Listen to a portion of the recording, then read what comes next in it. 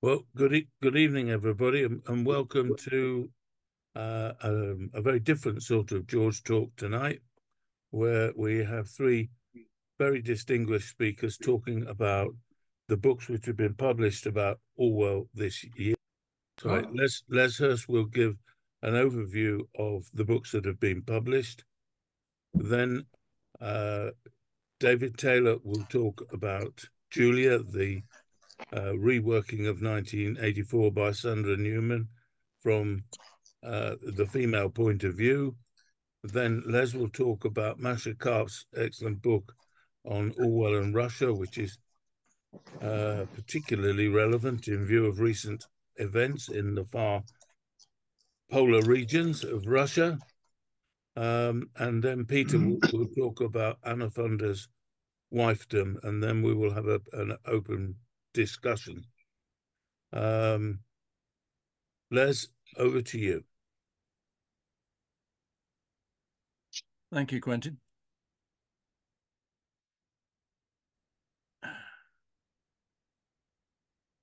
The box of 2023.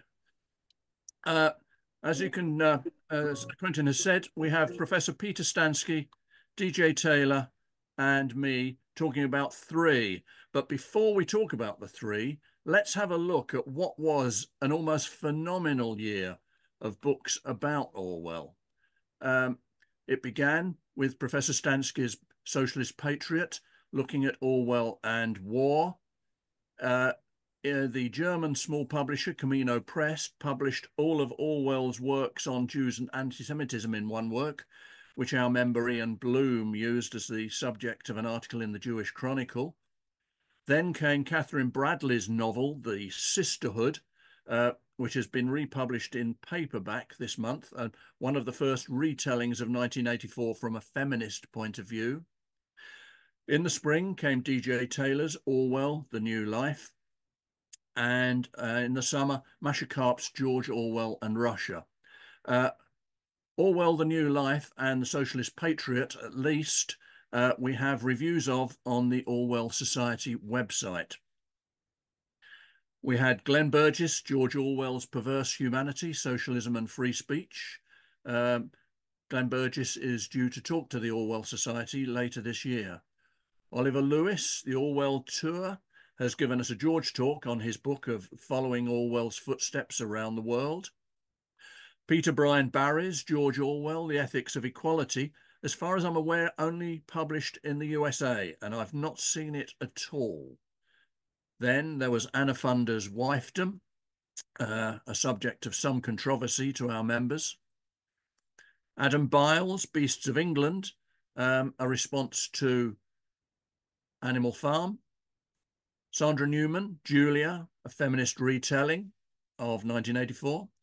Les Wilson's book on Orwell and Scotland, Orwell's Island, a book I only learned the existence of yesterday, Brian Conaway, year 84, which I understand, without having seen it, is a complete retelling of 1984, written only in Newspeak. And then I think, um, and if he nods his head, DJ Taylor can confirm this, that he has edited and annotated all of Orwell's nine books for Constable. No, some of him, some of the nine books, six. Thank you. and the small paperback uh, publisher Alma claims that they also have annotated editions of Orwell's work. The year before that, Oxford World Classics had taken advantage of the copyright end period to publish their own, um, which I can't recommend in, uh, in completeness. But we are going to have three speakers, and our first speaker talking about Julia by Sandra Newman is DJ Taylor. Uh, it's very good to be here. Good evening, everyone. Um, I was very glad that um, I liked Sandra Newman's book because I met the author at a literary festival in America in the summer and we got on rather well. It would have been horribly invidious had I then disliked what she'd written. Um, I want to start by giving this a bit of context um, because Orwell himself started turning up in novels long before he died. Uh, his fictional debut goes as far back as John Heygate's Decent Fellows in 1930, where he features as an anonymous school prefect, watching the headmaster cane a malefactor in his study. Uh, there were subsequent appearances in the wartime writings of Inez Holden, uh, he features as Basil in Stevie Smith's The Holiday in 1949. And there's a possible sighting in his friend Anthony Powell's A Dance to the Music of Time, where Alf Erridge, Lord Warminster, can be found brooding over the bound volumes of Chums and the boy's, boy's own paper in the library at Thrubworth, and might be thought to share some, at least some, of Orwell's puritanical detachment. And to these early walk-ons and fleeting cameos can be added a recent clutch of novels that attempt to dramatize various aspects of his career. And I'm, I'm, thinking of Dennis Glover's The Last Man in Europe, which of course was 1984's working title, uh, which begins with him meeting Eileen in the Hampstead bookshop where he worked in the 30s. And then there's Norman Bissell's Barnhill from 2020, which follows the dying man around late 1940s Jura. And Peter Hodgkinson's Orwell Calling, uh, an ingenious reworking of his time at the BBC, which finds its hero caught up in a murder mystery.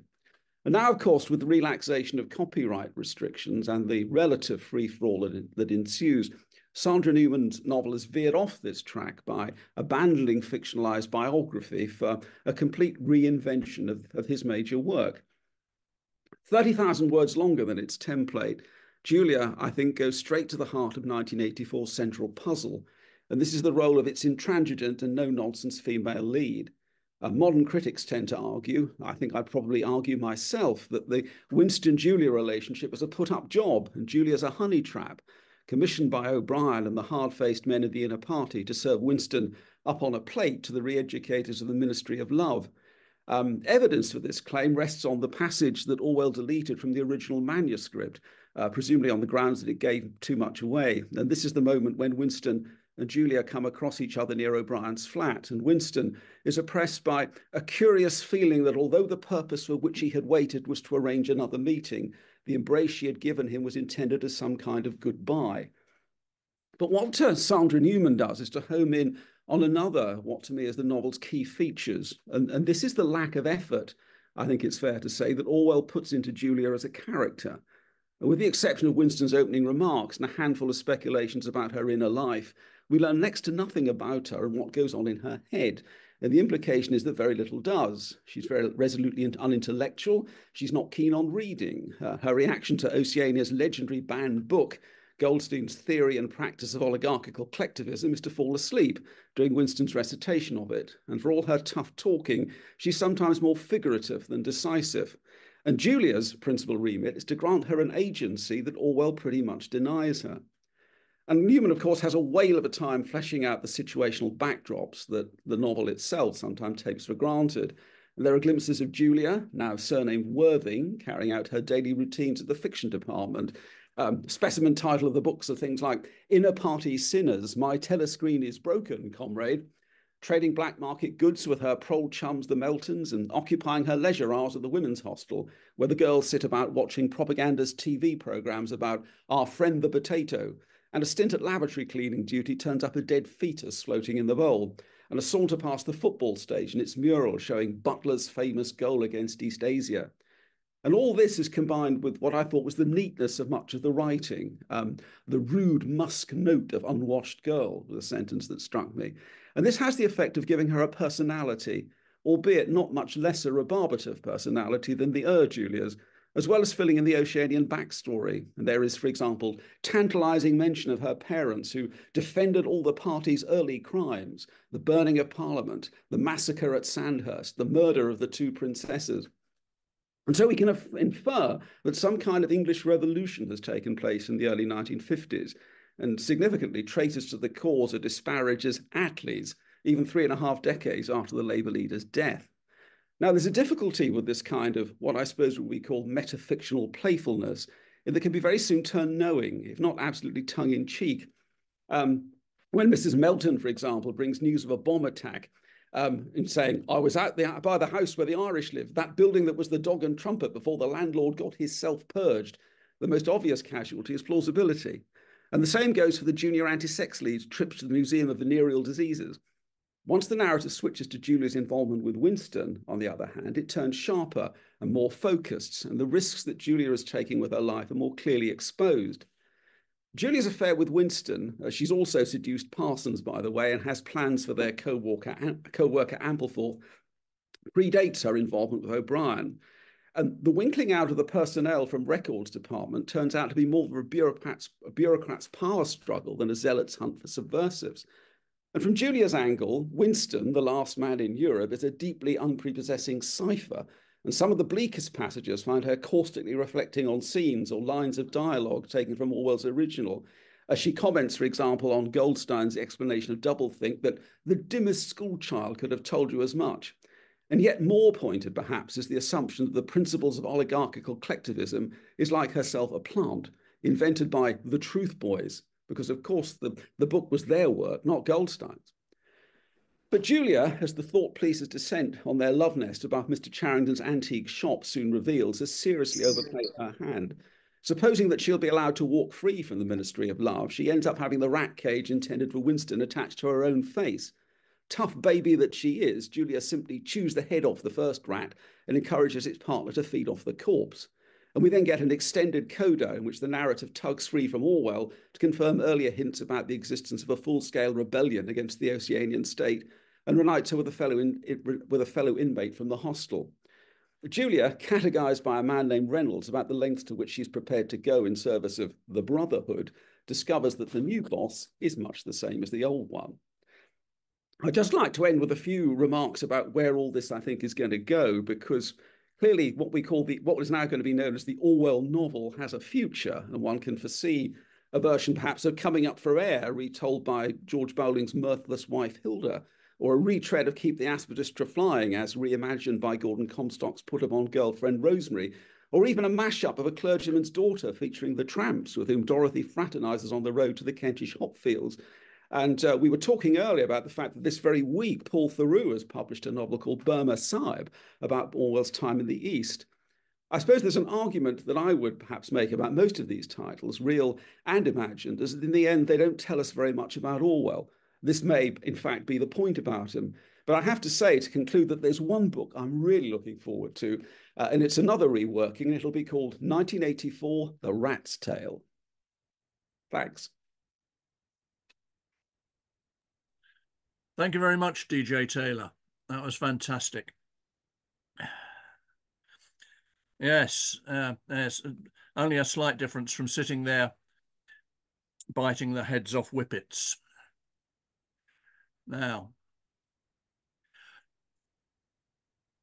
the second of the three books we're talking about today is George Orwell and Russia by Masha Karp. Uh, um, I hope that uh, once we open the conversation, uh, Masha will uh, will make some contribution. She wasn't sure that she could join us um, before today, um, and I'm pleased that uh, to see that she is here. Um, George Orwell and Russia is is um, a fascinating book. Um, I knew that she'd been working on it for a considerable amount of time. What the form would be, I wasn't aware until I opened it and discovered essentially it's two parts um, uh, giving it both uh, width and depth. That is to say, it's a historic work uh, which studies uh, how Orwell became aware of what had happened in Russia and essentially the betrayal of the revolution, and in depth, how he gained the elements he had of analysis, which came out into the essays published essentially after the Second World War. Um, and which in turn we can read today when we try to examine what is happening in the post Stalinist, post communist Russia, which of course is proving to be uh, even more of a hor horrible enigma than we had perhaps hoped. Um, I draw attention to two or three elements that uh, Masha Karp um, draws attention to. Um, in the biographical element, what she points out is that during Orwell's time, when he was still Eric Blair, living in Paris, he had um, a wide connection with the Esperantist movement based there, some of whom had been in Russia during the Bolshevik Revolution. And had experienced the the uh, the damage and horrors that it was inflicting on those who were of liberal mind but of not of the Bolshevist persuasion, that is, who weren't prepared to follow Lenin and then Stalin. Uh, this followed on when Orwell um, moved back into England. Um, Masha has um, a very interesting point, and it's a criticism of uh, Orwell's first biographer, uh, Bernard Crick, that Myfanwy Westrope, the co-owner of Book Lovers Corner, where Orwell worked, had experience of Russia. She'd visited it. She'd been part of the Esperantist movement, and that she'd seen how the suppression of the Esperantist movement in Russia had been um, just one example of uh, the Stalinist imposition of power, and equally how the people that Myfanwy Westrope had known had become afraid to admit to having any connection with her. Now, the uh, other criticism of this is that Miss, Mrs. Westrope lived long enough to write to Bernard Crick when he announced that he'd published his biography. Uh, it was going to uh, research the biography, uh, making him, him aware that she existed. And he did nothing for years until finally, when he did attempt to dis- uh, contact her, she died. An appalling omission on his part.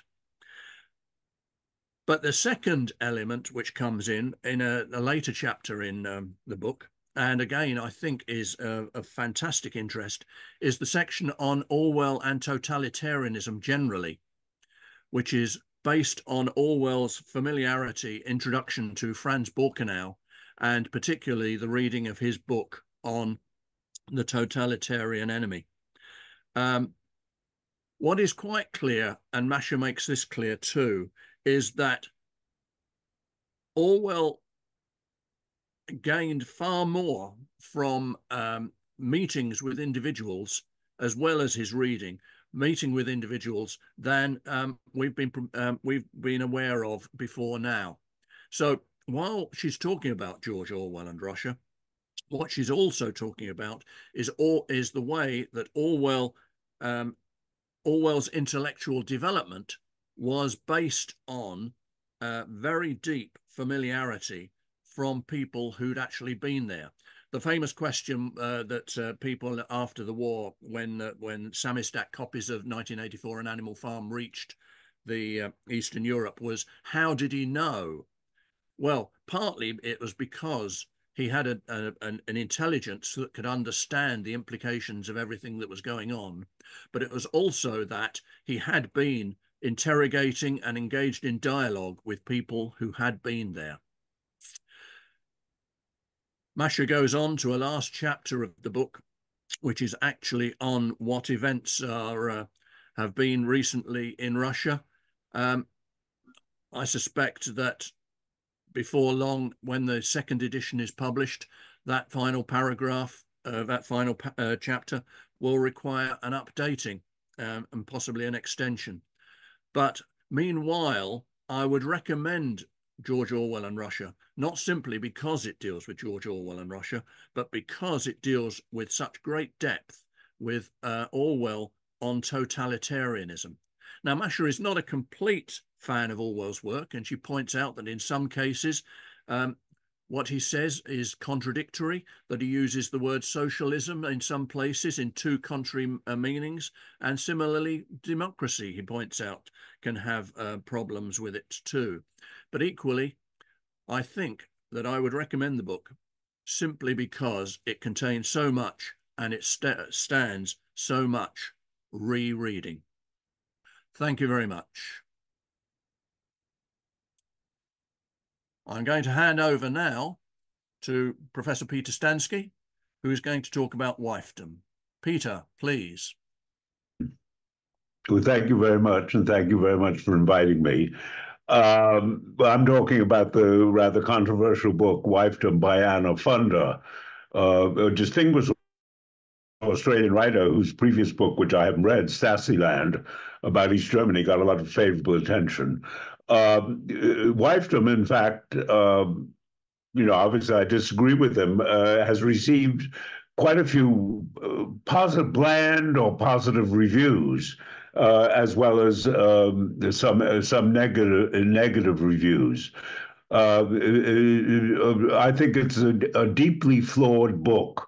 And uh, first, I'll discuss the my well serious flaws, but not the major flaw, which I'll conclude with um, uh, in the book.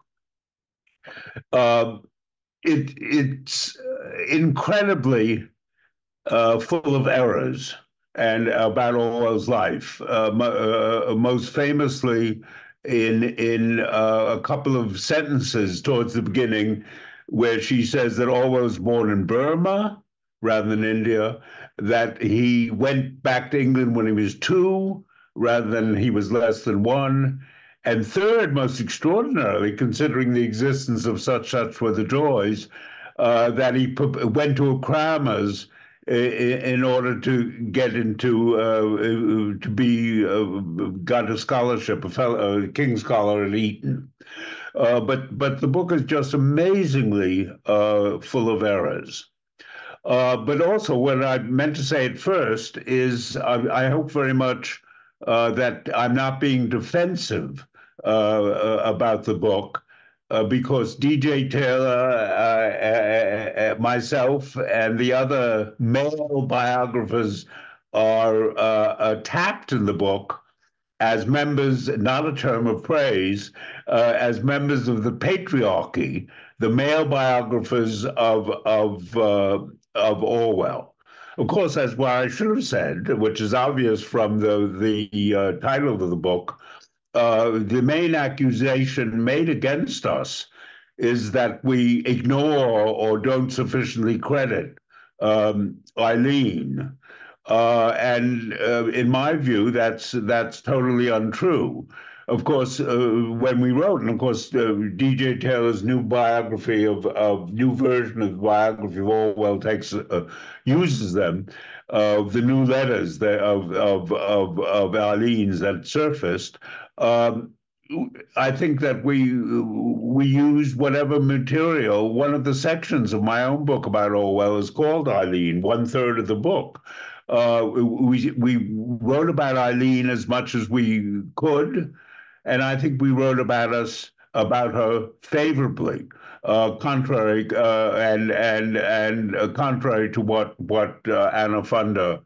Not that we attack. He she doesn't quite accuse us of attacking her, but rather of ignoring her, uh, which I think is totally untrue. And also, what's outrageous is is uh, Sylvia Topp has written a wonderful biography of Eileen, and um, uh, again, uh, Eileen, Mrs. Orwell's invisible life uh, was made visible by Sylvia, and again, uh, Anna Funder mentions us.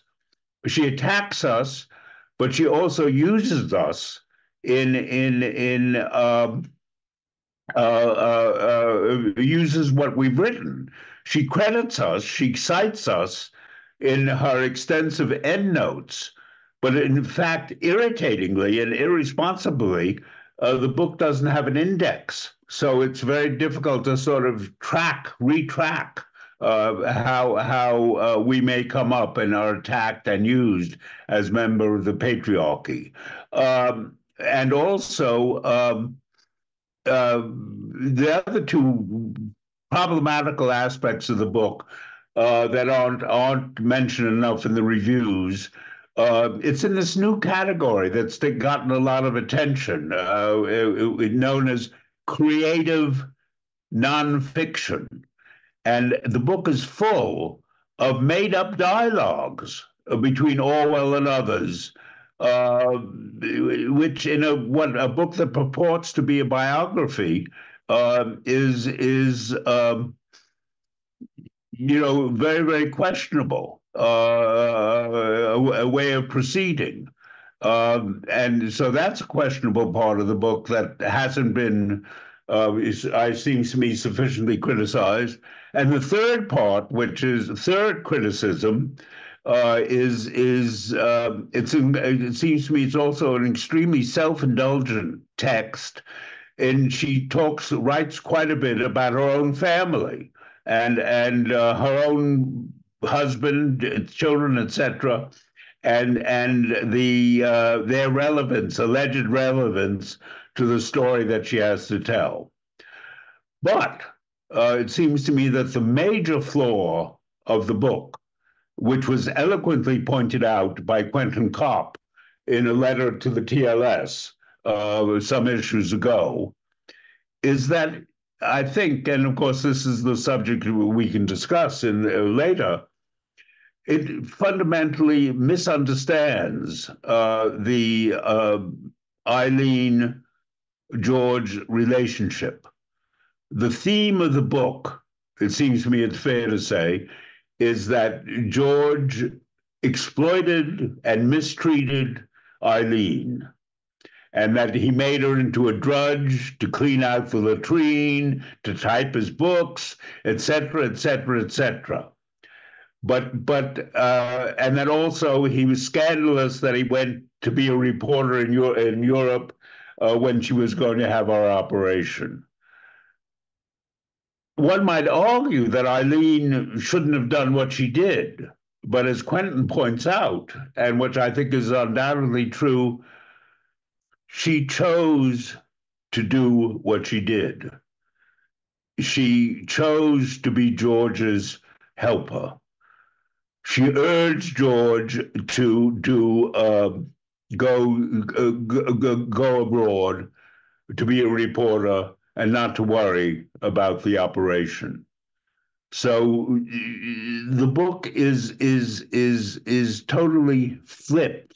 Uh, it seems to me uh, a a true interpretation of of um, what uh, uh what uh, what the relationship uh, was, and and uh, you know, many Eileen was a very impressive, bright, interesting. Uh, she subsumed herself to George, but she chose to do so. Now, on the other hand, uh, and also, I don't, if I remember correctly, Anna Funder doesn't give any mention. That, you know, in 1984, Daphne Patai uh, published, I thought, in a way, ahistorical, in some ways, a flawed book uh, about about Orwell uh, as misogynist, and it seems to me uh, a critical book. Uh, maybe it's being written or has been written, and I don't know about it. Orwell's relations with women you know, beginning with his pouncing on Jacintha uh, when, uh, you know, when he was uh, quite young. And his, uh, as he said to Celia Kirwan, uh, his chief hope in life was to be what he would, if he had a wish to have anything that he might be, he wanted to be irresistible to women. And, you know, whether, and, you know, as we know, he proposed to four people uh, for women uh, uh, abruptly, and and and he, he he had a lot of things. And there's an interesting question to what degree Eileen, uh, whether or not they agreed to have an open marriage or not. I mean that that's a very interesting area. And I think a book, uh, there could be more studies, and in a way, it would have been appropriate for Anna Funder to talk about that. Uh, did, did Orwell's relationships and approaches to women, how did they relate to what we value so much about Orwell, his commitment to human decency? Did he behave decently with women?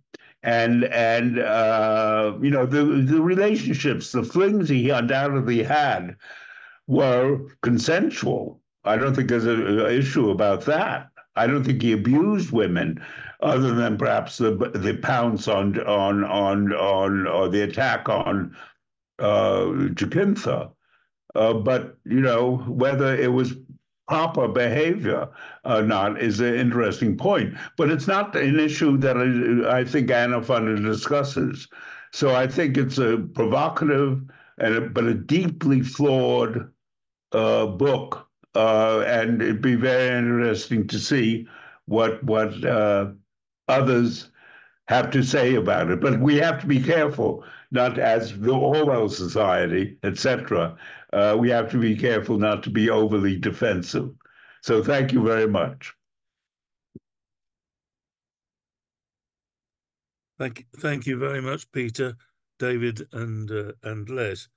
Um, uh, interesting. I don't know if anybody else has seen this. Les, I think if you could put it on the chat, Martin Tyrrell has done uh, a very forensic review of uh, wifedom.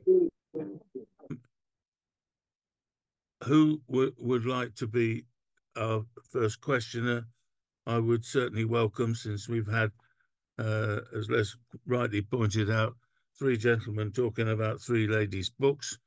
Um, a lady to start the ball rolling.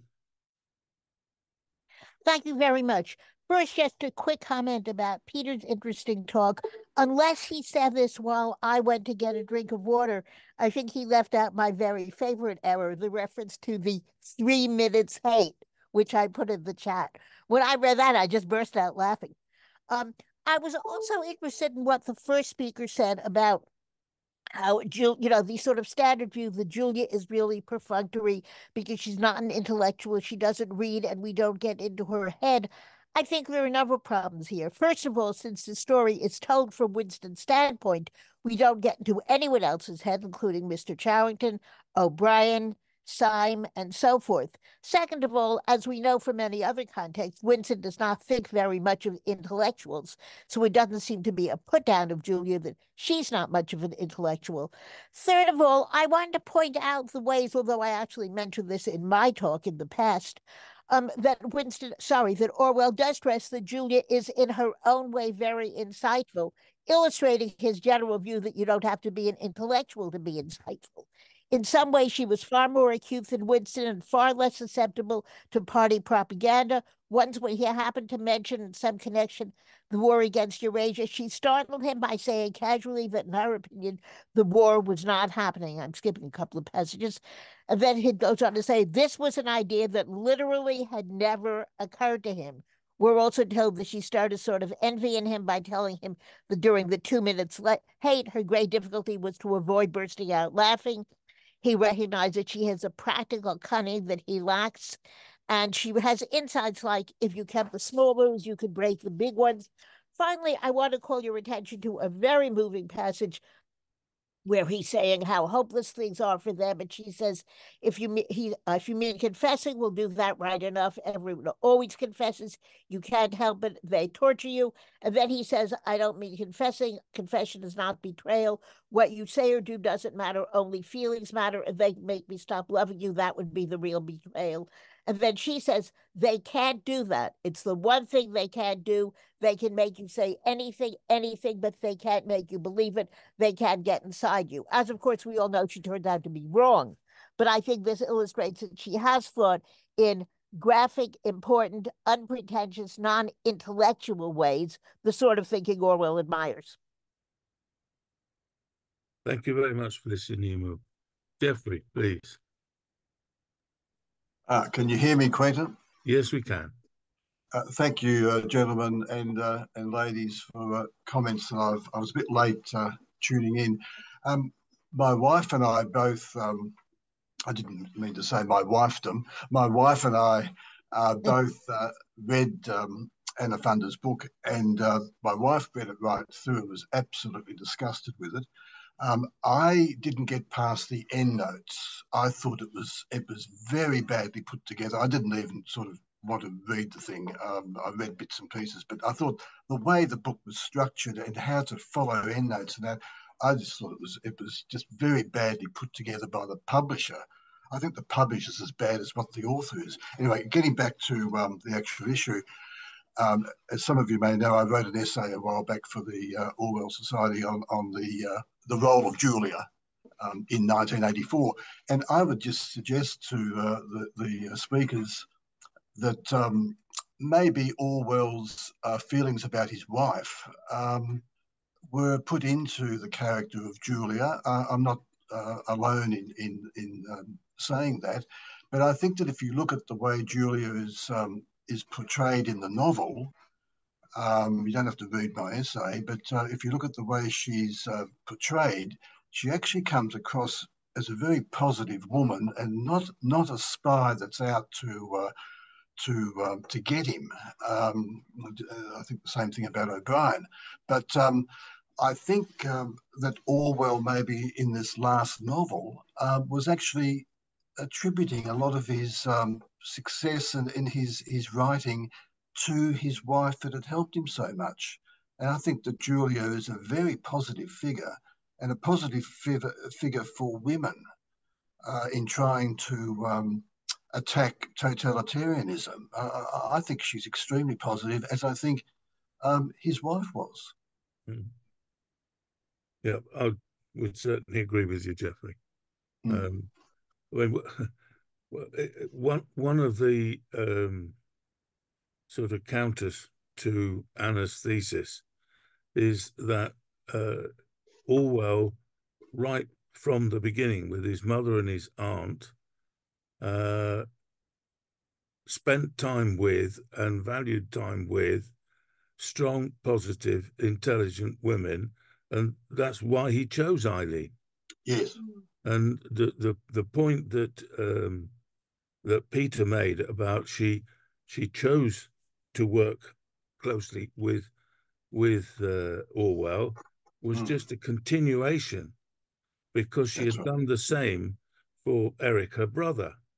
And if you read Eric's uh, biography on the Royal College's website and see the list of publications that she put order into and coherence into uh, from Eric's uh, uh, random writing of great intellect, uh, but like a lot of people of great intellect, it didn't mean he could um, he could express himself in the way that was easily accessible to others. Um, it, it, it, you know, she she she made him. Anna's made her out to be a drudge, and when she claims that she's bringing her out into the light, Sylvia brought her out into the light. Thank you. My little rant over. Charlene. uh, oh, can you unmute? Sorry. I'm unmuted now. Uh, hi, uh, thank you for the three speakers. It was really interesting. Um, I'm myself, I'm uh, no Orwell expert, but uh, I found wifedom uh, problematic as well. Um, I, I thought the fictionalized parts were terrible, and I agree with Peter um, that um, you know Orwell's relationships to women it's is something that you know would be worth exploring more. And um, as um, an endometriosis sufferer myself i'm well placed to know that intimate relationships uh, with a partner are uh, problematic. So i think that's something that uh, as you know a, a woman uh, Anna Funder could have explored more in that respect. And I actually had a question for you, Quentin, because I know that you got in touch with Penguin um, yes. to try and, um, you know, um, amend some errors. And I was wondering if you um, had a response because the paperback is going to come out. And um, I know that rights were sold to France because um, I know the the French mm. translator who's been working on the book, and I warned her that maybe, uh, hopefully, there would be some corrections coming. And for example, I told her about the error about um, Orwell being born um, uh, mm. in India, not in Burma. So I was wondering if in the paperback and um, you know translations there could be some modifications. Well, we we we don't um, we don't know exactly what they're going to correct. Uh, Ariana's um, got her hand up to to talk in a second, um, and she will explain uh, what she got corrected. Um, some of the basic errors, uh, for example, his birthplace and his father working in Burma. Um, Richard had got Richard Blair had got got uh, changed there were some egregious errors about my father, which I hope for, I they've said they will change. Uh, for example, that he he wrote to Eileen when he was working for the British Secret Service in 1940. In 1940, he was fighting in the Battle of the Marne with uh, the French Foreign Legion. He wasn't vetted for the British Secret Services uh, until 1943. Um, these errors are incredible because she was constantly asking me during this process of writing this book for stuff. So if, if I hadn't corrected a hell of a lot more errors, God knows how many there would have been over and above what is already, as, as has been pointed out, an error-laden book. So it will be interesting to see exactly what is changed. Uh, Jackie Robson, would you mind if I ask Ariana to speak next? Because it would seem a, a natural uh, uh, way to uh, to answer that question better. No, so thank you very much, Quentin. Yes, um, my mother, Celia Cohen, um, was egregiously um, libeled, as it were, in this book. And um, pretty much everything she said about my mother was wrong. And I was furious. And I wrote to the publishers immediately. And they hedged their bets um, and put me off. Uh, it took about a month for me to chase them. But eventually I got a complete climb down from the publishers, which I imagine they obviously must have checked with Anna Funder. And they agreed to change everything that I asked them to change about my mother, um, with one very small and admittedly slightly um, debatable point. They said that they would change it immediately in the digital editions, that it would be changed in all future print editions and translations. But I can only um, assume that they have done that in the digital edition and will do it in all future editions. But I, I didn't point out the factual errors about the place of his birth, um, etc. I, I, simply confined my letter to the ways in which he had, um, you know, he had traduced my mother and her reputation. Um, but I do agree that I mean I don't know where to begin on this book, but that he she seemed to get absolutely everything about his relations with women wrong.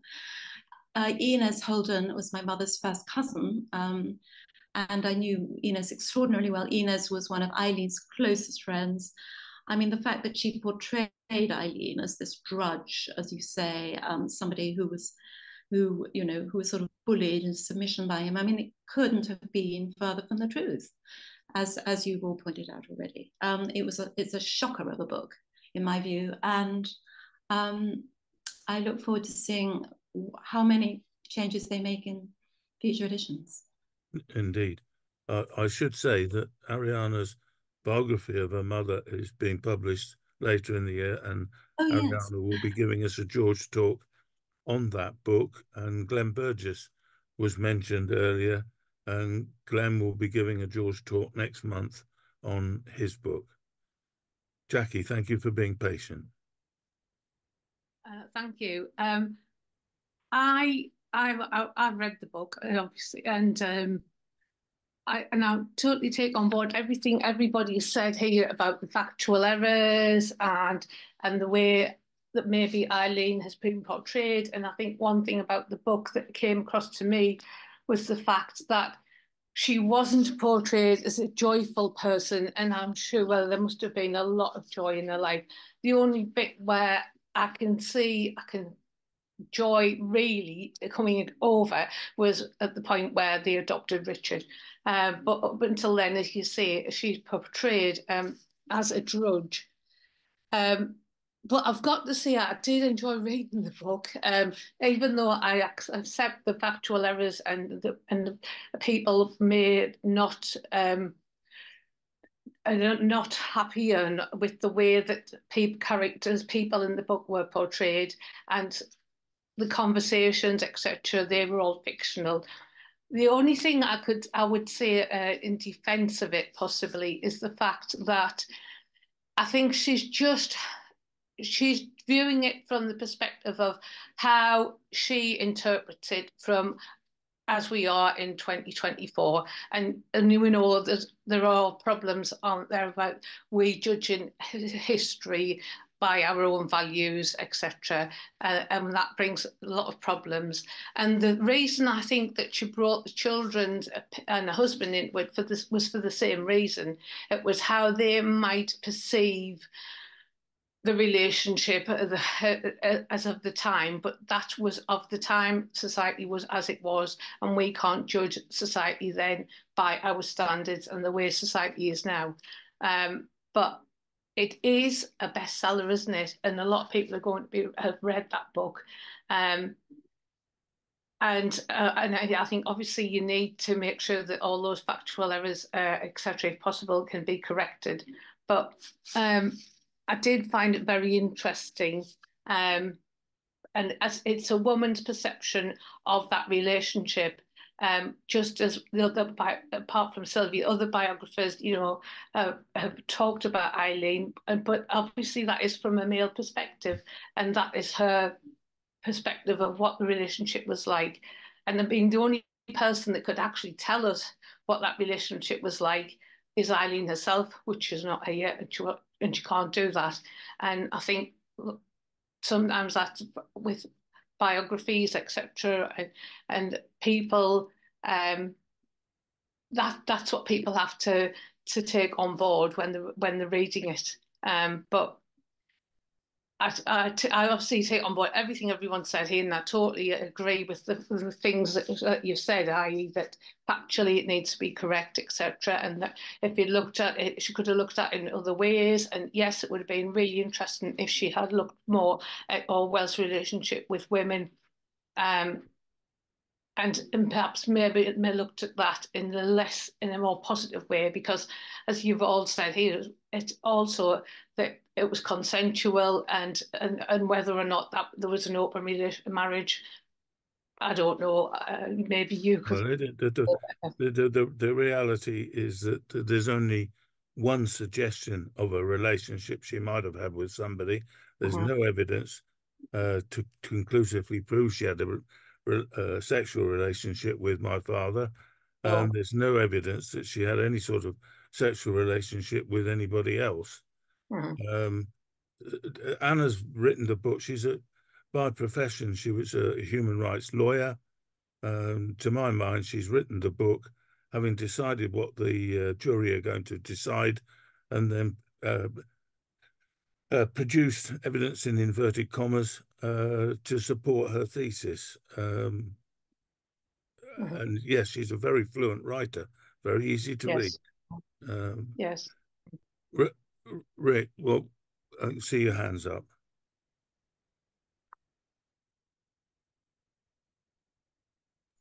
There we go. Yeah, I just, this is from a personal point of view. Uh, one of the things that she says in there that uh, my aunt Avril was a sourpuss, uh, which I take great uh, uh, offense to. She's turned a negative into a positive in, in her book. Actually, Avril was a most wonderful uh, sister to my brother and an aunt to me, uh, in the sense that she uh, defended my father from all comers who wanted to come and, and spend time, waste his time, uh, I can think of one person in particular, but I won't mention his name, um, when he lived on Jura, when she came up in 1946 to, to look after the house at Barnhill. Uh, to say that she was a sourpuss is absolutely appalling because actually Avril had a, a wonderful sense of humor. And uh, it, you but you had to live. I mean, I, I, I, can tell you this because I lived with Avril for, for, for many years. So you'll have to take my word for it. But she's she she was just a wonderful uh, aunt to me. She looked after me. She she not only she looked after me, but she, she loved me very very very deeply. Mm. Um, and so I, I I just feel it, it just irritates me intensely that she did this. So this is a, a personal moan. Mm. Um, but they, what I have to say is possibly or probably is that wifedom will eventually fade away in the sense that we are making a, a, a big deal of it, um, but it will never ever uh, survive the, the, the literary canon of, uh, of, of her books, or certainly my father's. That my father will continue to be read long after she has gone. Uh, Ariana, you want to come back? I just wanted to say very quickly, she calls her book, which is a strange mishmash of fiction and supposedly fact, she calls it counterfiction, doesn't mm-hmm. she? But I would have thought she should call it counterfaction because actually yes. she gets so many of those facts wrong that yes. really um, that would be a much more appropriate term. Mm. That's all I wanted to say. Yeah, well, I mean, again, as as as um, Rick obviously knew Avril very well. My mother knew Eileen very well, and uh, the way she describes Eileen is uh, uh, absolutely nothing like the Eileen that I was told about by my mother. Les. Thank you. Um, yeah, if I can do the share screen again for a moment. Uh, while I was preparing for this um, this evening, I've actually drawn up a list of, of these books that Peter first mentioned and Ariane has just mentioned, this subgenre of, of um, creative reimagination, um, which seems to be a specifically Amer an American trait. But uh, we have the expertise of, of, of DJ Taylor, who knows a lot about publishing and fiction who perhaps will we can get to comment on this. But the, this is a list of books um, which are all in this creative reimagination uh, published uh, essentially in the last 25 years. So there was there was Dutch, a memoir of Ronald Reagan, which uh, seems to have started it. Um, American Wife, which is a, a, fictionalization of the life of Laura Bush. Alice I Have Been, which is a retelling of the life of Alice Liddell. Zed, The Beginning of Everything of, of Zelda Fitzgerald, the wife of um, F. Scott Fitzgerald. The Girls, about the, the women in the Manson family. Rodham, uh, about Hillary Rodham Clinton. And then much more recently, Dirty Birds, about extraordinarily the Canadian singer Leonard Cohen and The Queen of Tuesday by Lucille Ball. Uh, these are only the titles that, um, since I heard about this uh, genre, I've been able to produce in a quick list. But I, I wonder, um, I wonder, DJ Taylor, uh, David, do you know anything about this genre or why it's taken off? Um, it is. It is. You're. You're right that it's. It's a fashionable modern phenomenon, uh, but it does go back a very long way. In fact, you know, the, these fictional. I mean, I would. Uh, I'm sure there'll be readers here, for example, who will remember some of some Evelyn Waugh's uh, efforts in this genre. You know, for example, Helena, his life of the third century Roman empress, is a kind of reimagining of. Uh, and so um, it is, is pretty much an American thing, but uh, you know there are English practitioners, and I remember again this is perhaps rather an obscure novel, an early novel by Philip Hensher about thirty years ago, where the character I think was Mrs. Thatcher's skin. If you, I know that sounds that sounds bizarre, but it's uh, it's and in fact, in some ways, the the um, it's uh, there's there's a kind of hybridization going on at the moment between genres in which biographies are becoming more fictional, if you see what I mean, and fiction is becoming more biographical. Uh, and this creates there was there was I remember about 20 years ago, and Andrew Motion wrote a book about Thomas Wainewright, the celebrated early 19th century poisoner, and uh, it was described as an experimental biography. And when Motion ran out of facts, he started making them up uh, although he was careful to demarcate. Um, and in fact, I would I would uh, plead guilty to having done this myself. Uh, my biography of Thackeray, there are some kind of fictionalized interludes, but the, you, you, the, I think the only thing that you have to ask is that, that that writers are very scrupulous about how they do this, and I think there's a danger, certainly a danger um, I, I, I, don't really particularly want to say anything much about Anna Funder I've I've kept sort of I think quite reasonably detached from this. Although there are some remarks in an afterword for the paperback of Orwell: The New Life, which is out um, out next month. But uh, there is this there is this idea that you uh, you know that you can explore um, uh, a real person by unreal means, uh, which is fine as long as you accept those boundaries and those demarcations and point out where they are. And I think the problem, the, the drawback of that, whatever may be said about the Funder and its merits uh, and its demerits, is that I've, I certainly thought that a lot of the people who reviewed it were not people who knew anything about Orwell. And so we're taking everything that was said in there as a matter of fact. Um, and the other thing too was I think that uh, um, although Funder makes clear or makes clear where she's making stuff up, there is this kind of general presupposition that it was quote a biography, and I've seen it. You know, I've seen it reviewed as a biography. I've seen it in lists of the years biography, and I think there is a danger that people. Unlike ourselves, who are not expert in these matters, will go away from it thinking that's the literal truth. That that that is a real concern especially uh, the some of the uh, reviewers were chosen for their uh, feminist views, and uh, the the uh, Oxford uh, guy who's who reviewed for the London Review of Books made up a whole load more fabrications to add to to Anna's. And I can see if I the, the only other thing I would add, I can see uh, Sylvia's Sylvia Topp has joined us on screen. Hello, yeah. Sylvia. Uh, when I read the subtitle of Anna Funder's book, you know, Invisible Life, my first thought was invisible to whom exactly? Uh, oh, yeah. we, we, thanks to Sylvia, we know huge amounts uh, about her. And um, I think the, the one the one final point perhaps I would make about um, wifedom is that uh, obviously, her principal source is those letters of, of Eileen's that were discovered, I think, in 2005. Uh, and Peter, da- the late great Peter Davison prints up in the Lost Orwell. Um, and they are extraordinary documents and they reveal an extraordinary personality. Uh, but I wouldn't want to take them at face value because they're written mm. in that kind of private code of a, a very intimate husband wife relationship where sometimes more is being said than is accurate and sometimes less is being said. They're full of gaps and interstices. And I, and I, and I think the to navigate your way about those letters is an extraordinarily difficult task. I, I can remember puzzling over them for hours as to what particular sentences meant. And of course, they're written to a very old friend. Again, there's a kind of cipher there that I think has to be decoded. And they are very, very tricky documents. And I'd be very interested to hear what Sylvia had to say about about those letters. Well, the, uh, what the, other, the other person she, the other person she relies on, David, a lot is somebody again who I, I knew knew knew quite well, uh, and that's Lydia. Uh, Lydia Jackson is the most unreliable witness.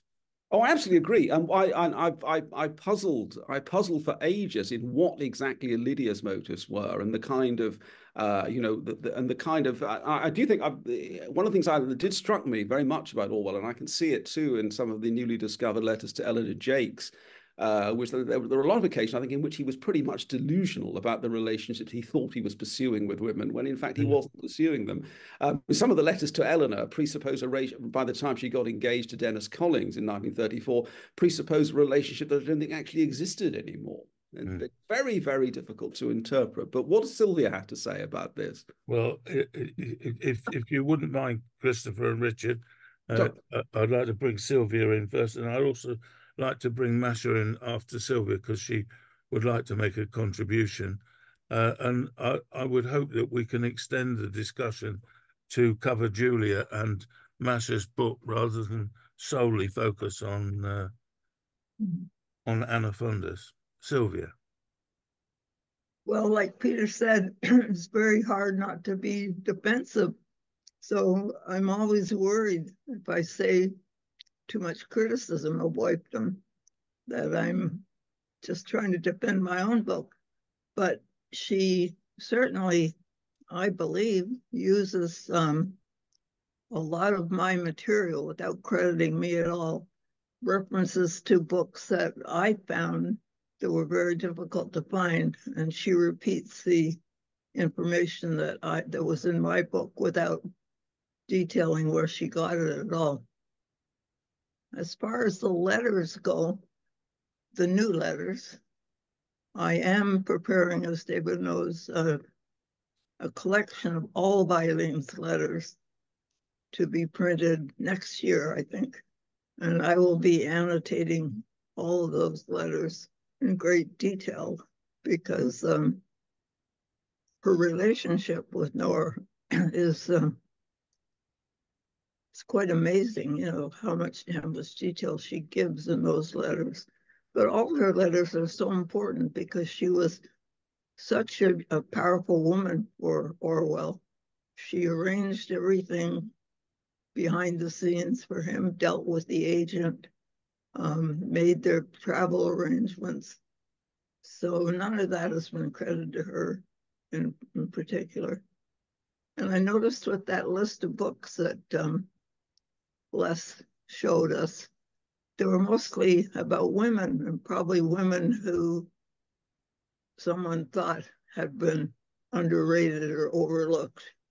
So what else was I supposed to talk about? Oh, that, that, that's very helpful, Sylvia. And uh, uh, I'm pleased you've told people about your your uh, your work on the letters.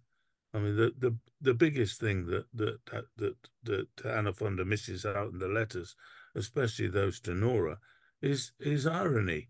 You know, the famous letter about I've saved this up so I could write a round robin to everybody. Um, is is absolutely larded with irony. Um, she's taken it. She's taken it literally. Eileen has such a wonderful sense of humor, and yeah, and absolutely no sense of humor at all. Yeah. Thank you, Sylvia. M Masha, and then we'll come to Christopher and Richard. Uh, thank you. Thank you, Quentin. Thank you, everybody, for discussing my book. And thank you, Les, for a very, very flattering review of it. I'll say just a few words about Wifedom, which I haven't read, so I'm not going uh, into any detail here. But of course, I would like to pick up from uh, what Sylvia has just said about her uh, sense of humor because I remember one of the things uh, that I uh, always remember about Eileen is a quote from her friend uh, um, from uh, um, Patricia O'Donoghue, not her friend, but the friend of Lydia, who quoted Eileen as saying at one point that in their cottage in Wallington, there were so many mice that they shoulder to shoulder pushed all the um, all the plates uh, and cups down. And I thought that's already, uh, you know, a bit of an animal farm in the even in this uh, sentence because there is this feeling of the grotesque that she possessed. And obviously, uh, you can imagine her and Orwell having enormous fun um, thinking of uh, this uh, of this book, but naturally it was written by him and not by her. Uh, the second point that I wanted to make is that uh, Richard Blair has just said that uh, he hopes uh, this book will go away. Uh, I mean, the the um, its influence in the journal that uh, I'm sending to the publishers today or tomorrow, and hopefully we'll all receive uh, by, uh, well, in March at least. Uh, we have an article uh, of John Rodden, who is really scared by the possibility of this particular book damaging Orwell's reputation. Unthinkable as uh, it can be because he thinks that is what, as uh, um, David said, what uh, lots of people who don't know much, they will think, well, who, this guy who, who so mistreated his wife and all the rest will, will disappear. So uh, when you see the journal, you'll see uh, whether it seems convincing to you or not. I just hope that maybe John is wrong on this, but, but he treats this danger very, very seriously. And about my book, I mean, the primary motive for me, of course, was uh, in writing this book, was uh, to show to the English reading public that in our part of the world, not just in Russia, but in Eastern Europe uh, as well, uh, people read it differently because it was all too familiar. And now these uh, couple of days, as I'm sure you know, are very tra tragic because of the uh, obvious murder. I, I would, uh, you know, I'm not writing it and I'm not um, having to bring proofs, but I, I, am pretty sure it was an assassination of Alexei Navalny in prison because, um, you know, there is a video of him a day before and he didn't look so emaciated or, or, or um, so bad. But what I think is very important and why people in Russia and in Eastern Europe in the past remember Orwell so well is this feeling of absurdity that Orwell noticed in the most cruel um, developments of uh, the totalitarian regime.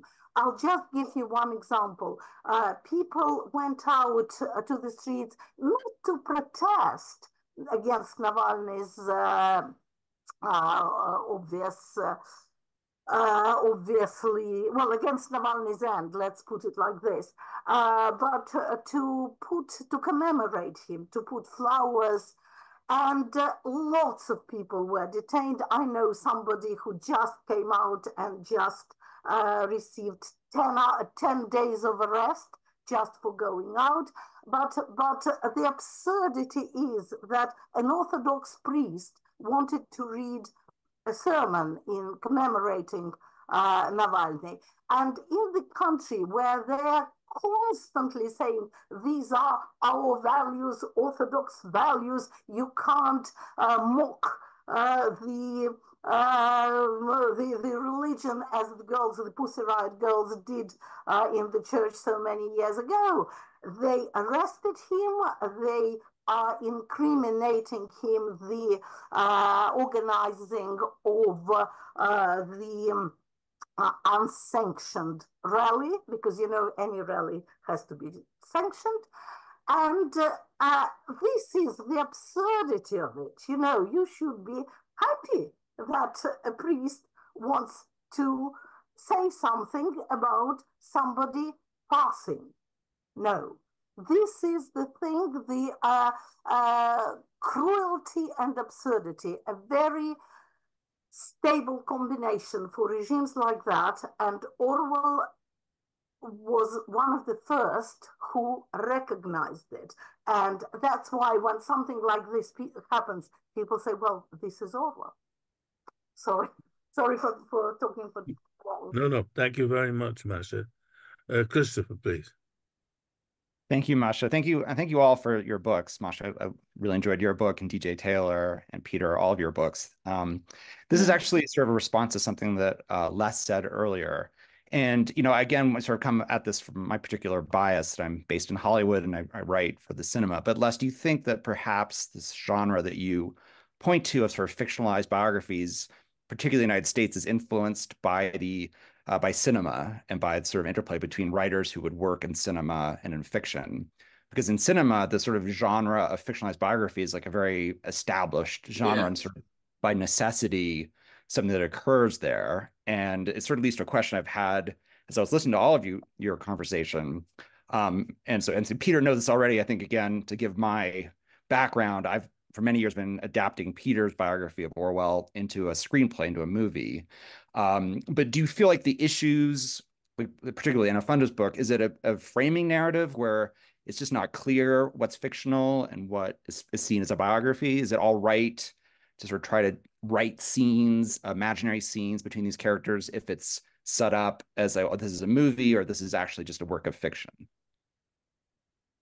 Well, I, am not a great expert on this, um, and and people have commented. Um, the recent Polish film about uh, the, the the Welsh journalist Mr. Jones, which brought Orwell in, um, is one of those works which definitely played with the edges of reality. There's there's no there's no certainty at all that that Orwell and and, and Jones knew each other. Um, most of those titles in the list I put on the screen, I've, I've only become familiar with by uh, recent research. The one which struck me because I can remember the reviews coming out, was Dutch, the biography of Ronald Reagan. I don't know if anyone else is nodding and remembering when it first appeared that it features the author taking walks, imagining that he's talking to Reagan, even in what was then supposed to be an authorized biography. It was an extraordinary uh, uh, change in the style of, of writing. Um, and it was, I think it was found to be controversial. Uh, that, of course, there wasn't going to be a great popularity of biographies of, of Ronald Reagan on this side of the Atlantic. So I think I suspect I was probably reading about it in, in, in perhaps the New York Review of Books or somewhere like that. Um, so it's it's a genre. Um, DJ Taylor has tied it to historical fiction. Um, uh, Helena by by uh, Evelyn Waugh. Um, in the comments, uh, David Ford has mentioned the uh, I, uh, I Claudius and Claudius the God by uh, by Robert Graves. Um, I think I'd disagree with them with David that I th I think they are a different genre, uh, but um, I suspect that more people will agree with him than with me that there is a continuity, but I'm not sure that there is. Um, uh, there are one or two people who are now known for it. I noticed that there's uh, Curtis Sittenfeld, who uh, is a is a is a woman writer writing about women, is has made it something of a speciality.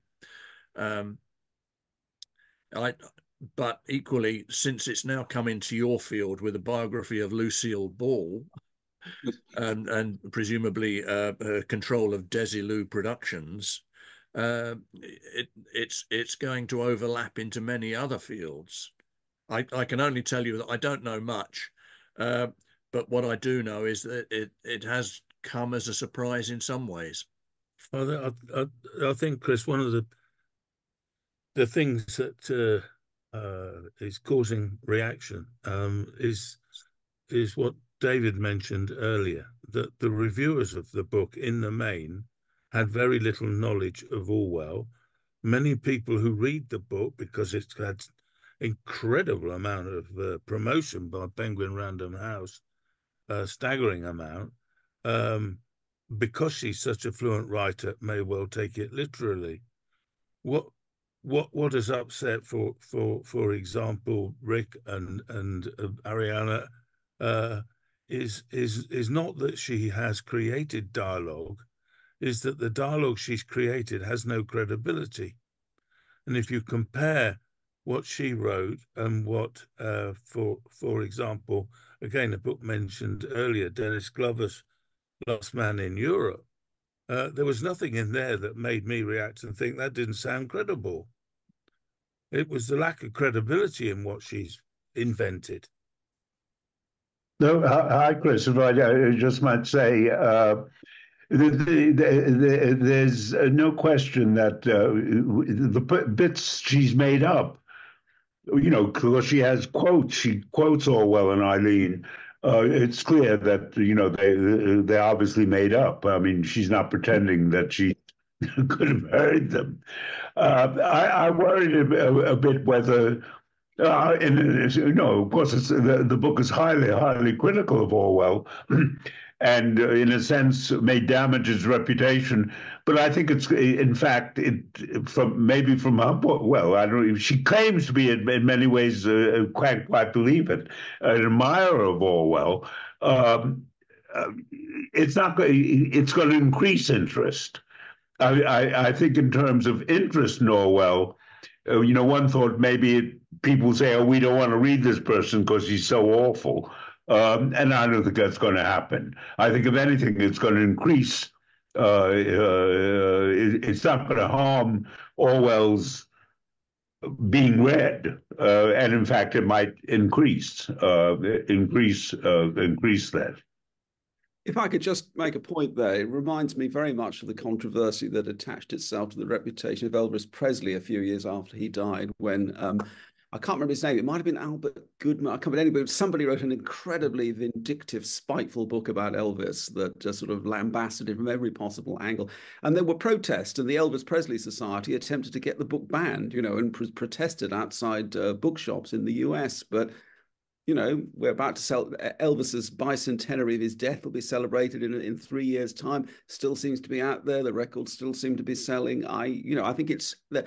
I suppose what, what what one has to remember that in, in the current climate and given you know all the, the the patriarchal biographers, including myself, who've been working on him over the, there was always going to be a book like this, and there will be others. And um, Orwell is big enough to take it. Yeah you know, it doesn't. Uh, he he is he is such a monument now. He is such a thing that um, you know it, it, it really is like you know a pea shooter against an elephant in some ways. I, I don't think ultimately Orwell's re reputation is really going to be afflicted by what the Anna Funders of this world say about him.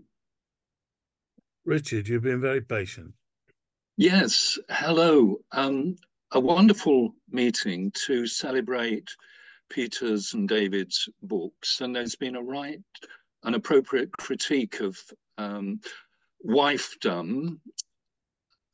Peter thinks rather like me, this word flawed. I'm writing a, a review of it in the next George Orwell studies, and my headline, forgive the pun, is fundamentally flawed.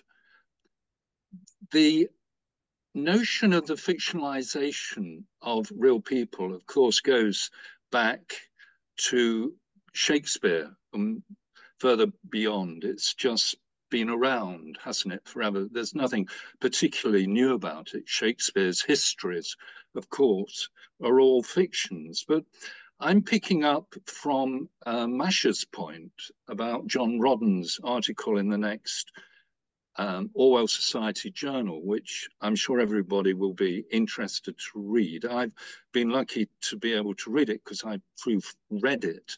But it got me thinking, and John Rodden argues strongly that um, it will be hard for Orwell to uh, maintain his, as it were, reputation following this attack. And the worldwide coverage that this book has received and largely positive from the mainstream reviewers. I agree with uh, David Taylor that um, Orwell will with, withstand these attacks. I think if we look at the broader um, Orwell studies environment, there were precedents for this. Um, there was Richard Bradford's Orwell Man of Our Time. Um, it set a dangerous precedent because if you remember that book, he used it as um, a hook on which to hang all his prejudices and ideas about everything from Brexit, anti Semitism, the Labour Party, uh, the British working class, Trump, etc. That set a bad precedent, I felt. Um, another dangerous precedent, I thought, was set by John Sutherland's Orwell's Nose, which, whilst in many ways I enjoyed it, it uh, filled the gaps in the biography with speculation which was often um, in bad taste, frankly. I think Orwell has withstood those attacks. And I think in looking at the broader spread of Orwell studies today, you've been right to stress the books, but there's also the, um, I'd like to give uh, Darcy Moore a plug. He's been writing over the year we're talking about. He's been publishing in uh, George Orwell studies. And it seems to me where the most important Orwellian research must go. It must be to the archives and the greatness about Darcy Moore is that he's going to the archives, he's interviewing people and producing new uh, information about Orwell's life. That is to me brilliant. Also, uh, we published Angela Smith's um, wonderful um, uh, talk, reproduced her talk to the Orwell Society AGM, in which she revealed um, the uh, career of uh, Eileen at Sunderland Church High School. Uh, a real gap in the research which this article uh, filled, which um, Anna Funder didn't mention. I don't think David mentioned it. And it's a pity because it's a major piece of new research. And one final point, maybe picking up from David's comment about Julia in the novel. I've actually argued always that Orwell presents a question mark over Julia as a spy. I don't think he ever says definitively. And that's the genius of the novel, because had he said she was a spy, it's, it's too obvious. The whole world of spookdom is full of questions. It really is. And Orwell knew that. And he never makes it definite that um, um, uh, she was a spy, Julia was a spy. In fact, David, you mentioned in, in one of the um, recent uh, publications of the uh, original text of 1984, you found out that Orwell actually cut um, a part which uh, might have suggested that she was, because Orwell wanted to leave that question open. So I would have questioned, I know you raised that in your new biography, David, um, and I would um, question that. My The title of my essay on Julia was the Julia Conundrum. It's not Julia the, the um, honey trap, it's Julia the Conundrum. Yeah, I, I, would I would endorse wholeheartedly what you've said about Darcy. Darcy spent uh, five weeks in India um, in November, December, uh, digging into the archives there and and talking to people and and some stunning work is going to come out of that. I know uh, he's constantly digging into archives all over the place. Um, Richard and I and our wives will be following up a piece of his research uh, on uh, this coming week, uh, going down to Cornwall to uh, follow up his research on some of the early influences on Orwell's interest in flora and fauna. Um, fascinating stuff that he digs up. Sylvia. Yes, hi. Um, so everyone's worried about whether Orwell's reputation will be hurt by the Funder book. But we also have to think about Eileen and what, how much damage she did to Eileen. And um, that'll be harder to recover because there's not too much to go back to refer to.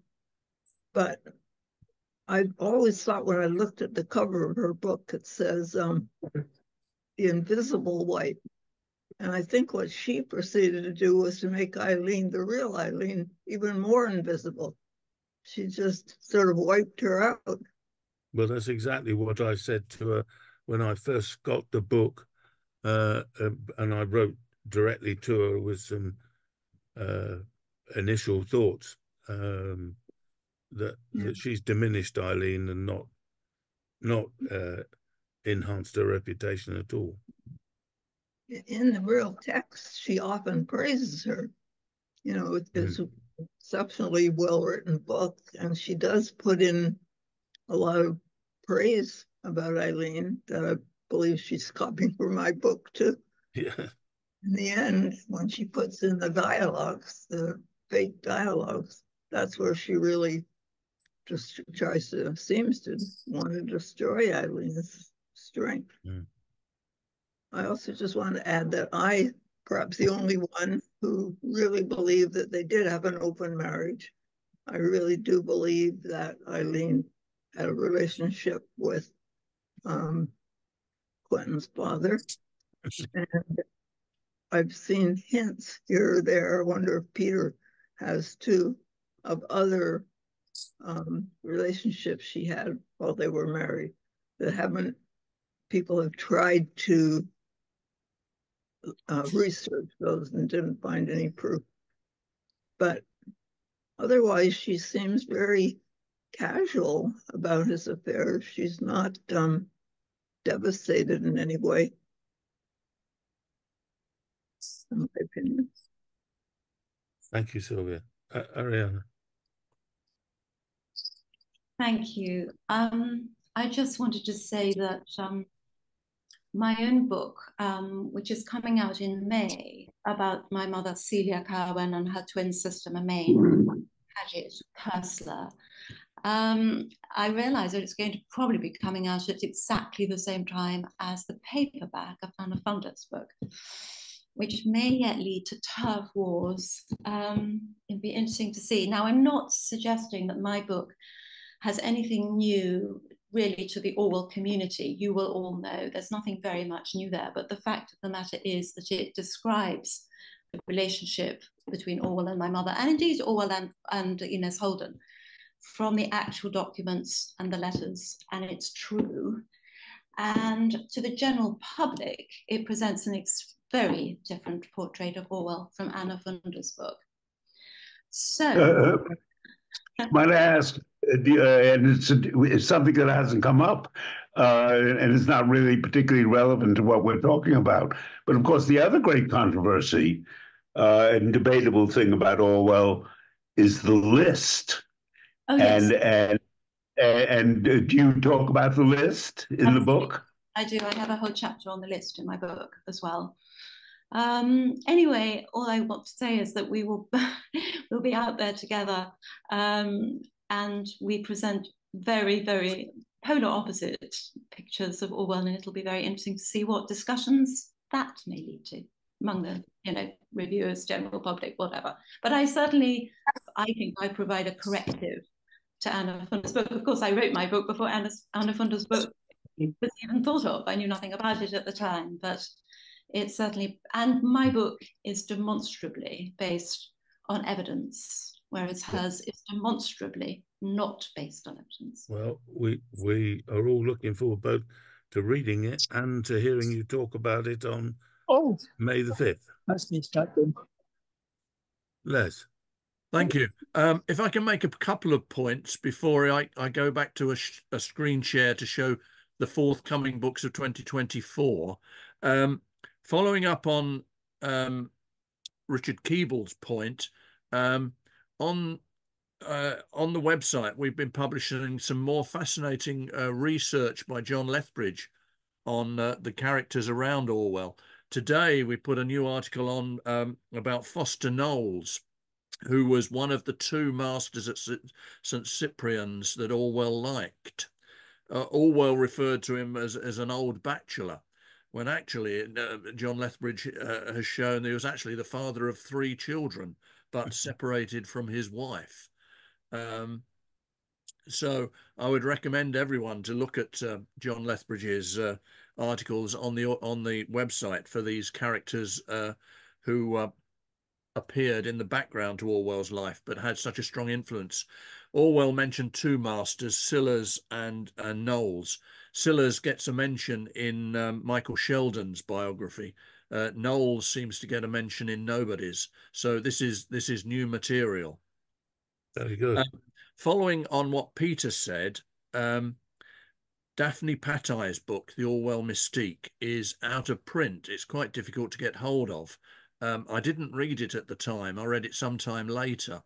Um, having read her introduction to uh, Katharine Burdekin's The Swastika Night, uh, which I'd found very negative, I was I was prepared to be uh, disappointed and unhappy with the Orwell mystique. But actually, I found that it, she was quite positive, despite her feminist position.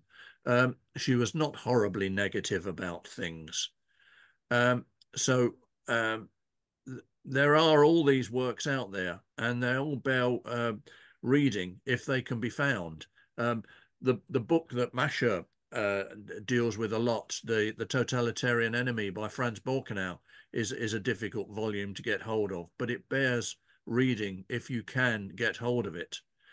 I was going to say I was going to deal with the books of 2024, but I see that Peter Marks has put his hand up, um, yeah. so I will I will yield to him.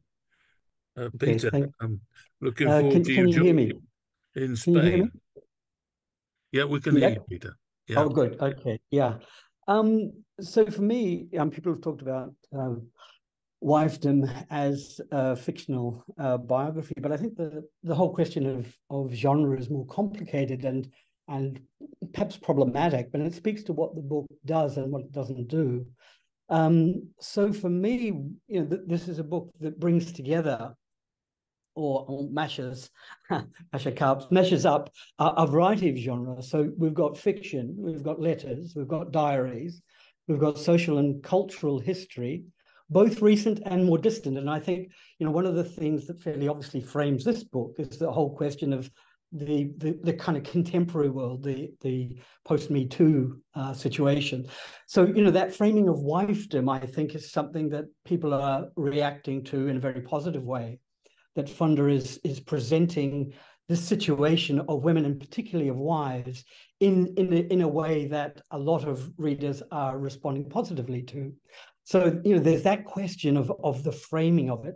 But we also have autobiography. So Anna Funder's own autobiography is central. Uh, there's polemic where she's kind of making an ar argument.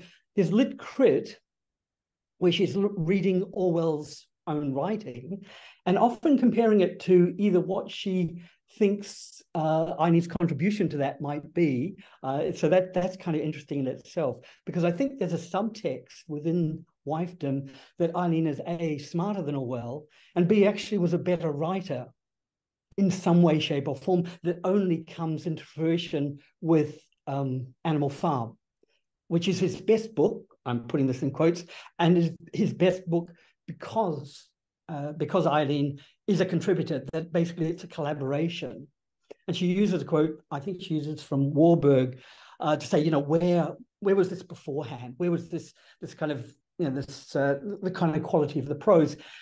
And of course, you could argue that Warburg um, didn't really know Orwell's earlier work. So if you if you go back to a, a the essays uh, shooting an elephant at a hanging a, a, decade before, I mean they have a kind of quality, a clarity um, that is is also evident in in uh, in um, Animal Farm. Anyway, the fact is that that Funder really sees uh, uh, Eileen as, as as smarter, and I think one of the problems that she has with this is that she doesn't necessarily know the social situation in the 1930s or earlier in uh, in Britain. And one of the really egregious things for me in the book is where she talks about, and this is where Sylvia Sylvia Topp's book is so different. Sylvia goes into, and because Sylvia is a biography, and I don't know whether Anna Funder actually says his, hers is a biography of of of Eileen as such.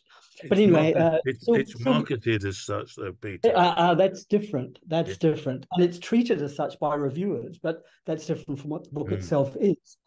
And I think where where uh, Sylvia does really amazing work is looking at Eileen's record at Oxford Mm. the reports. Now, implicit in, in Anna Funder's reading of Eileen is that she basically was done down at Oxford by sexist um, by sexist uh, um, examiners. And so she she writes in, in her book, if I were writing a fiction, I would have, uh, and I'm I'm sort of quoting this from memory. If I were writing a piece of fiction about Eileen's time at Oxford, I'd have a hand on the knee, or uh, someone asking for a, a, credit for a kiss. Now this is completely fabricated, and what Sylvia's uh, biography shows is that uh, you know, and that's why she didn't get the first, and she needed the first to become a lecturer. She gets a two one.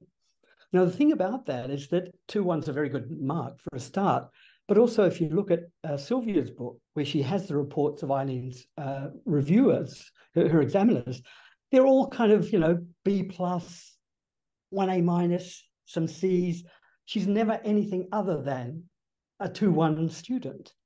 But of course, for for Anna's book to work, Eileen has to be sort of done down here, etc., etc. So I think there's a kind of interesting way that she selects uh, the bits that work for her. And just so I don't ramble on too long, there's there's one where she um, squeezes together two quotes from uh, DJ Taylor's biography, uh, where she said the, the 2003, where she says, Orwell's uh, at a um, at a Dad's Army, uh, you know, Home Guard uh, meeting, and he has a they're playing cards, and uh, Orwell loses, and he walks off with this young young man who's who's part of it, and then later uh, there's another scene where Orwell's talking with this guy, and the guy asks him.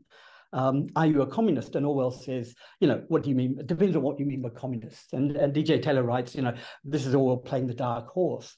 Now, Anna Funder reads that if you if you go to that section of wifedom, as though DJ Taylor's signaling to us, as, as biographers do when they talk about this, that there's some sort of sexual goings on here.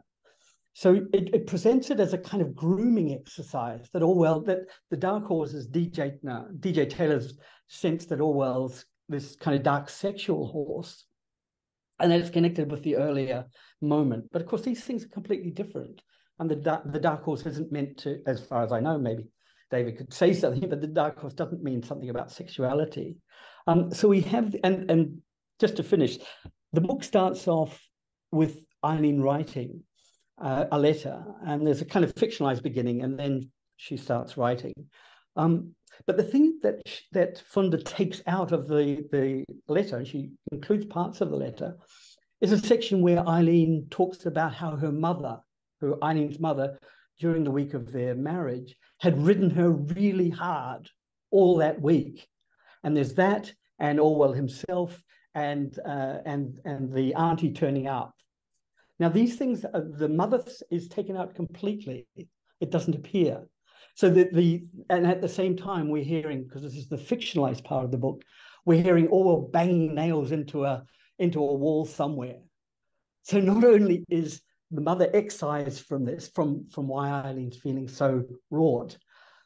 The aunt's the aunt's kind of contribution is, is sort of separated by a paragraph of, of fiction. And then we've got the fictionalized oh, Orwell making a, a fucking nuisance of himself off behind. And so just in that opening, in that opening se uh, section, the opening pages of the book, Orwell is set up in a particular way. Other things are excised out. And it's a very clever and I think sort of duplicitous way of opening the argument. Um, so I'll stop there. Do you want to add something, David, before we go back to Les? And then I think we should uh, thank everybody and conclude this evening. And Can, sorry, am I unmuted now? You are, yes, David. Yeah. Um, thank you, Peter. Yes, for that. And I enjoyed your. I enjoyed reading what you wrote about uh, the Funder and in fact about my book. Um, in fact, yeah, in the original 2003 biography, that paragraph, and it was Denzil Jacobs, Orwell's younger Jewish friend, and it's simply there to discuss Orwell's the very complicated position, political position of the early 1940s, has nothing to do with any sexual come on at all. Um, but it's it's rather redolent. I, one final point I would make: what, what you were saying about um, her in, her difficulty with some of the kind of behavioural tropes of the 1930s.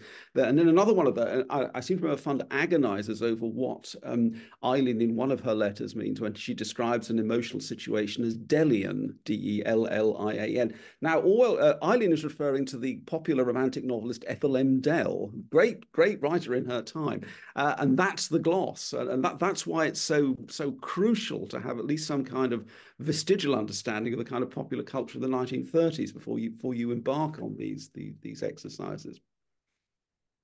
Oh, thank, thank you. Les, would you like to conclude with your look ahead of books? And uh, then I would like everybody to unmute and thank our speakers because it's been a fascinating evening. And thank you to everybody who's contributed to the discussion. Right. Books we know are forthcoming in 2024. Um, already published, Brian May's 1948, a prequel. You'll find a review by uh, Nicola Rossi uh, on uh, the Orwell Society website. Um, um an extraordinary, uh, an extraordinary book in many ways, and um, a third alternative to Norman Bissell and to The Last Man in Europe. Paul Theroux, Burma Sahib, which has appeared in the last week, um, which uh, we've heard, um, I think, has um, mixed feelings. Uh, Duncan Roberts' Orwell à Paris um, is due to come out later in the spring. Um, Duncan Roberts and Darcy Moore uh, at one point were working together to research Orwell's life in Paris. Um, it's perfectly clear now that um, Orwell's down and out in Paris and London um, only reflects small parts of the time he spent in those cities, um, and that there's a lot more to uh, discover about what he was doing. For instance, there must have been periods when he wasn't down and out in the city and was doing other things. People are already looking forward to DJ Taylor's Who is Big Brother, a reader's guide to George Orwell um, and forthcoming two by uh, Nathan Waddell, the uh, the lecturer at the University of Birmingham and um, visitor to one of the northeastern universities now, the Oxford Handbook of George Orwell and George Orwell in Context. I think they're coming out from separate publishers, um, but we can see that while 2023 was a very detailed year and one rousing uh, much discussion. I'm sure that there will be just as much interest coming in 2024. And what with events going on on which Orwell has so much relevance, as Masha's book uh, makes clear, I'm sure that Orwell will remain in the news. Thank you, Quentin. Uh, thank you. And uh, if you could all unmute, uh, say thank you to our speakers, please.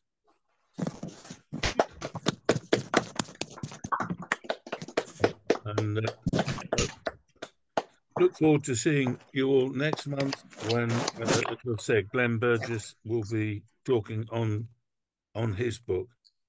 Uh, thank you all very much indeed. And good evening.